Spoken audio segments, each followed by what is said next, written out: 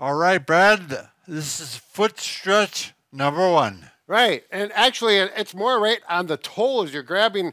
Uh, Bob's showing it from that angle. I got it from this angle. Come over the top, so your first finger goes over the knuckles of your toes, if you, so to speak, and push them down. So you're and the thumb is underneath. Yeah, right there. So you got a uh, anchor point or a pivot point Oh, and you can really get a nice stretch, and you should feel a stretch across the top of your foot. We're stretching those extensor tendons. They get tight from the footwear that we wear, and we'll show you that in just a minute. But boy, this is a waker upper stretch, you know, Bob? Yep. It wakes those feet up, and you feel like a Woo. mountain, strong like bull. There we go.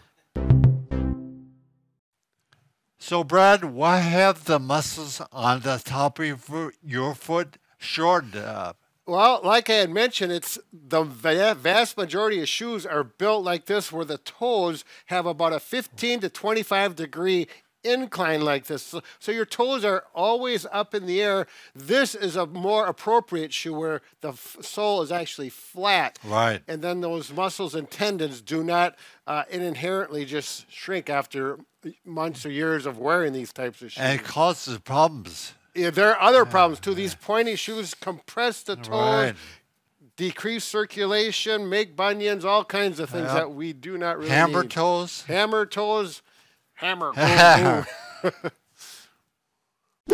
okay, we're going to show you two different options how to do that same stretch, and you'll see why you do whichever one works best. You can go on your knees like Bob is, and look how he's got his feet. He's sitting on top of his toes and he's curling the toes like it was before. Plus, you get a nice ankle stretch in the plantar flexion range. I couldn't even do the this at all bad at first. So, how long you been doing this? Oh, months. Months now. Yeah, it's one of those things that takes some time, but it's a nice stretch. It's easy. You use right. body weight. Uh, if you can get on your knees like this and hold that, it works out well. I'm going to show you another option.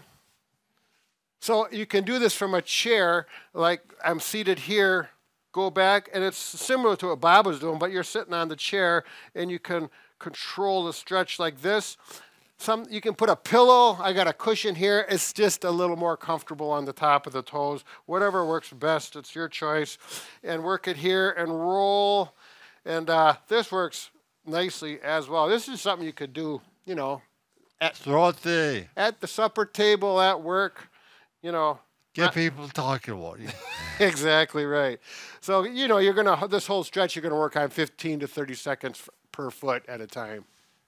The second stretch is the calf stretch. I'm going to show you a couple different options. First of all, heel flat on the floor, uh, knee straight, and then lean into the wall. This leg is not being stretched at all. It's just Red there. socks, man. What's great, that? Great socks. Oh yeah, those socks are great. Highway 66. Yeah. Make sure your toe does not rotate to the side. It should be pointed straight towards the wall. Lean forward and then bend your knee and stretch again. It gets two different muscles. The soleus. You can't go wrong with the soleus and the yeah, gastroc. If your calf is tight, you will put more stress stress on the foot. Exactly right. And, you know, you can hold that 15 to 30 seconds. Make sure you do both legs. Uh, we'll go to another option. Uh, I think uh, these incline boards are the one of the best ways in Which my. you made. Yep, this one I did make. Yep. We have a video on how to make it. Did a good job. Yep.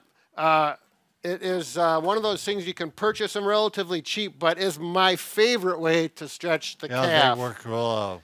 Uh, so we go here, and it's nice because it's gravity, so you don't have to work too hard.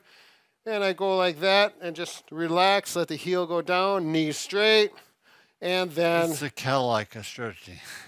Knee, what was that? Cadillac of The Cadillac, yep, it really is. It, it's. Uh, it's really nice. It's really important that you get one that has a nice grippy surface here so your foot doesn't slide down. Right. If your foot slides down, it, it, then it's not the Cadillac. It's a Pinto, and you might as well not even have it. But anyways, that's another story.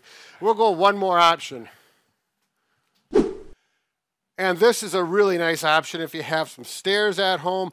It works best if you have some shoes on. You put your foot so that uh, balls of your foot are just past the corner. The forward. Yep. If you go down here, your foot will slide off.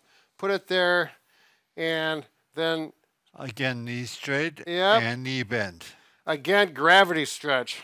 Knee is straight, knee is bent. You know, you can do both feet at Do once. both, right? Yep.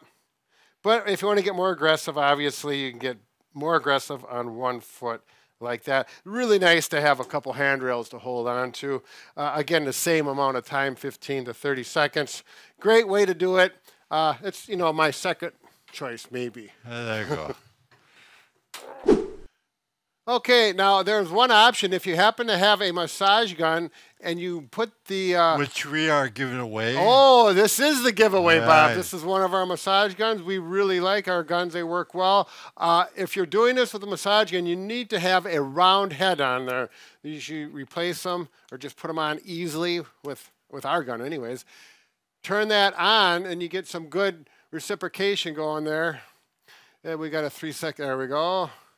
Okay, now, one way you do not want to do it is going straight down onto the top of your foot. It will be uncomfortable and won't do any good. So you turn it 90 degrees so that the massage is going sideways. It's like a cross friction massage. And you don't put a lot of pressure on. You go by how it feels, use good judgment.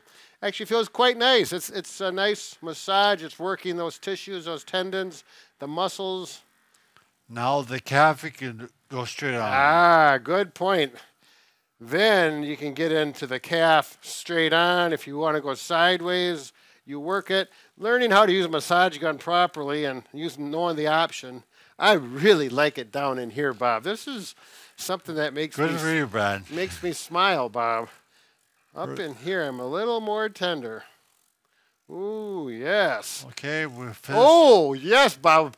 Once again, we can fix just about anything Oh, except for oh, look at this, a broken, broken heart. heart. What do you? Uh, can you zoom in on that? This is very critical because this is a step that we have not taken yet.